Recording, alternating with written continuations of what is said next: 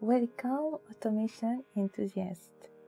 Today we are going to learn how to install Selenium WebDriver with Python and PyCharm.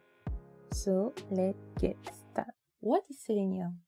Selenium is a Python library, so you need to have Python installed on your system. If you have not yet installed Python, I suggest you to watch my previous video on how to install Python. The first step is to open the command prompt. Just type cmd, then click on Open.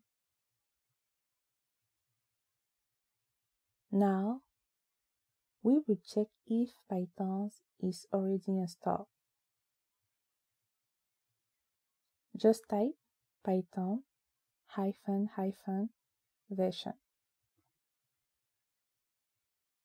As you can see, Python is installed in our system. Now, Python has a package manager called pip.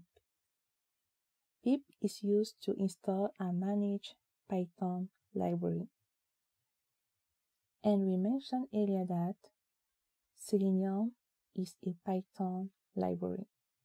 So to install Selenium, we will use pip to install Selenium. To make sure pip is already installed, type pip hyphen hyphen version. Okay. Now, to be able to install Selenium, we will use pip. So, just type pip install Selenium and press enter. This command will download and install the latest stable version of Selenium and its dependency. To install Selenium on your project, select the project you want to install Selenium on. Click on the main menu, click on File, click on Setting. You can also access the setting icon on your right. Click on Setting, click on Setting, then found the name of your project. Click on that, then click on Python Interpreter under your project.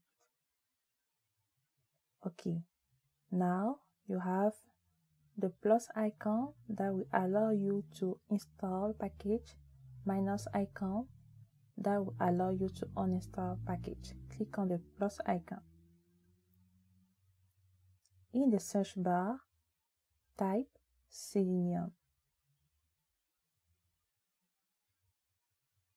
Then, as you can see, Selenium appear on the list. Click on Install Package. Wait for the installation to complete.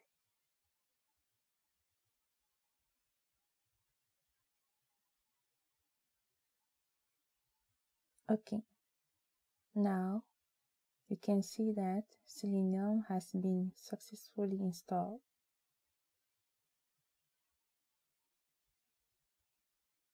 Close the pop-up window. Then, inside your package, you can see Selenium is now part of your project package.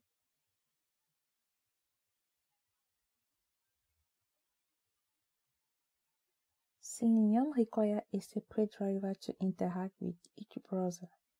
In the next video, we will install Chrome driver and browse a web page using Selenium.